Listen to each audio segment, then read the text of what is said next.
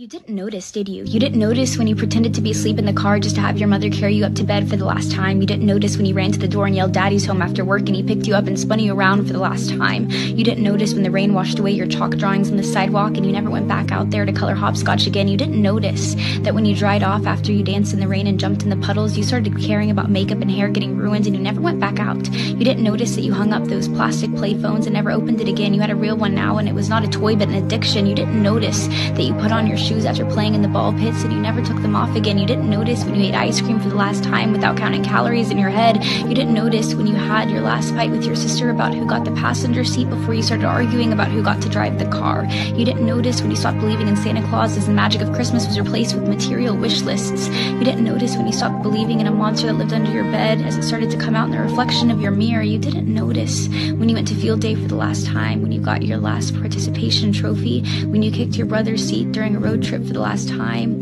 when you had your last play date with your Barbies, when you had your last Disney movie night with your family, you didn't notice that grandparents don't last forever. You didn't notice that your childhood cat wasn't eternal. You didn't notice your parents are growing up too. You didn't notice it, do you? You didn't notice that you grew up, but you notice it now, don't you? You notice it every time you look in the mirror and you are shocked because your reflection doesn't look familiar. You look older, you look tired, you look like it's been centuries since you let your imagination run wild. You look like you don't even remember what it's like to be a child, and you notice that every time you look back at pictures and you notice how you were at the age that little you was always wishing for, and you notice how you never thought you would make it this far. Adulthood was as fantasy as the games you would play, but here you are. And you notice it now, don't you? The time goes by too fast.